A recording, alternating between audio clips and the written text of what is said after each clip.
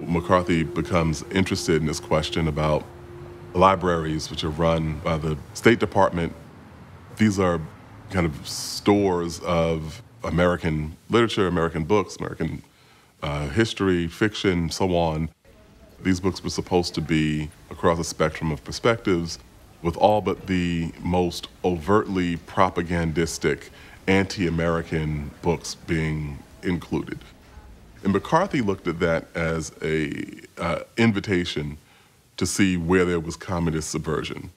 I think the committee has disclosed a fantastic picture in the information program. Some 30 or 40,000 books by communist authors distributed throughout the world with our stamp of approval, allegedly for the purpose of fighting communism. How do you start this investigation? In their way of thinking, you call in the authors of the books, who have no idea that their books are in the USIA shelves. One of the authors says, I don't even have a copy of that book. It is odd to decide to haul the authors before the committee because the authors did not put their books on the shelves of the libraries.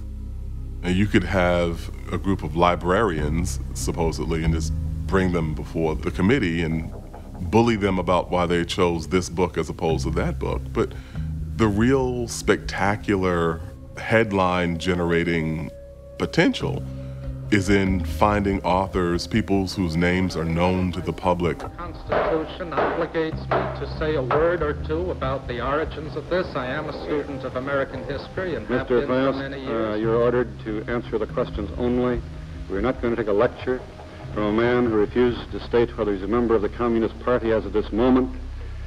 I must refuse to answer that question, basing my refusal upon the privilege granted to me in the Fifth Amendment. And in line with your word, sir, I wish you would allow me to spell out that privilege and what it means. and why I am evoking it. No, I don't think everyone in this room knows this. Very few people know this. Why don't you give me a chance to state this? Right up, At that time, a lot of occupations like government workers, school teachers, and others were subject to instant dismissal from their jobs if they took the Fifth Amendment. In many cases, it was people who were quite willing to admit that they had once been in the Communist Party and they had left the Communist Party. But the next question was always who did you know when you were in the Communist Party? And that's the thing that people didn't want to do. They were willing to talk about themselves, but they were not willing to give a name of somebody else.